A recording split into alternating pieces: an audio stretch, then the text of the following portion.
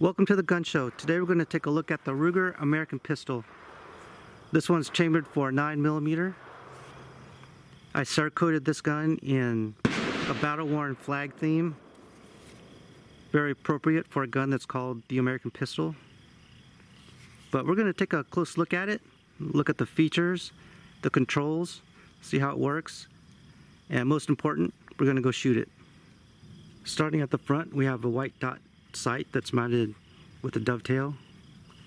There's a Picatinny rail on the dust cover. The rear sight is a two dot notch. Here we have the takedown lever and here's the slide lock slide release. And there's cocking serrations on the rear only. Then here we have the magazine release and a trigger mounted safety, just like a Glock. The first thing I noticed when I picked up this gun is that the grip feels really good. There's some aggressive texturing on the back strap and also on the front strap. And it has this nice curve to the back strap that really fits well in the palm of my hand. The weight is one pound, 11.8 ounces and with a fully loaded 18 round magazine two pounds six ounces. Let's go ahead and check the trigger pull. But before we do that we'll make sure that it's empty there's no magazine and the chamber's clear.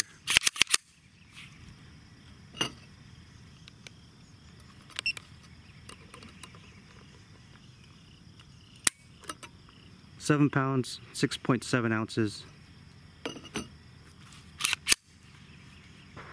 There's a little bit of take up. Pretty squishy as we put some force on it. And then it finally breaks with just a little bit of over travel. And then the reset is pretty far forward. There it is. But at least you can hear it and feel it through the trigger. Not bad. Let's see what this little Ruger American pistol can do.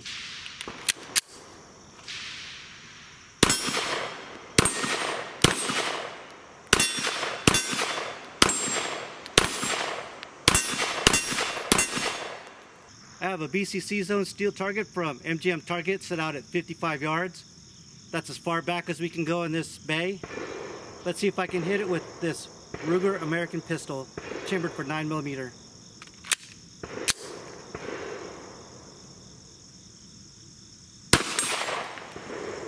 Got it on the first shot. Let's try to get some more of that.